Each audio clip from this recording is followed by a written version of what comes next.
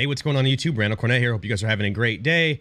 I did want to cover something that I think is pretty important. I think there's a little bit of in, uh, misinformation that's going around about this threshold security list that I kind of wanted to go over and clarify for you guys. So, I've heard a lot of missed dates about these uh, 13 trading days that happen after the um, a security is listed on the threshold list, right?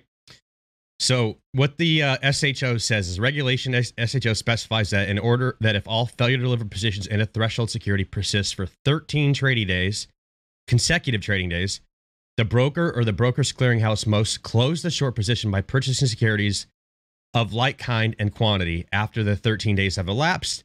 The broker may not accept any more short sell orders until the fail to deliver position is closed by purchasing securities. So they're saying after 13 uh, consecutive trading days, if these failure delivers have not been covered, they can no longer uh, engage in short positions on the security. So if it lasts for 13 days, so I've heard a lot of people say we're on the seventh day, we're on the sixth day, we're on the eighth day. They're looking at all these past failure to deliver dates.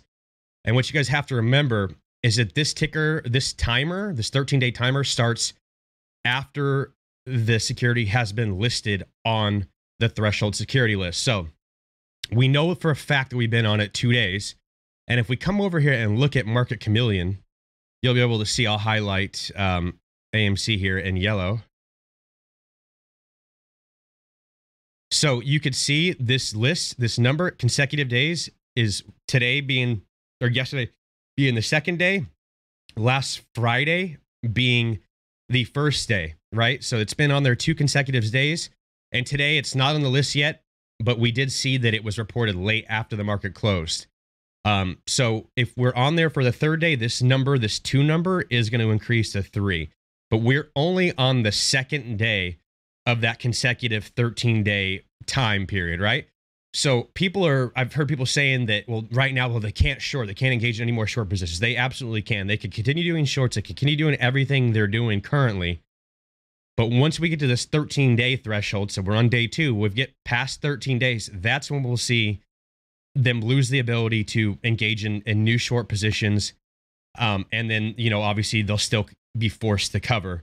But I want you guys to understand that if you're seeing dates, so it's we're five days out, seven days out, I don't believe that to be correct. So far, currently, we're only on two consecutive days. So I wanted to make this video just to give you guys a little bit of clarification and give you guys some um, an idea of what the numbers really look like. So hopefully this provides a little bit of clarity and you guys can spread this around so people understand what we're dealing with. So little quick video, just wanted to give you guys an update. If you guys enjoy the content, please do me a favor, like and subscribe, all that good stuff. I hope you guys enjoy the rest of your day. I'll catch you guys on the flip side. Love you long time. Peace.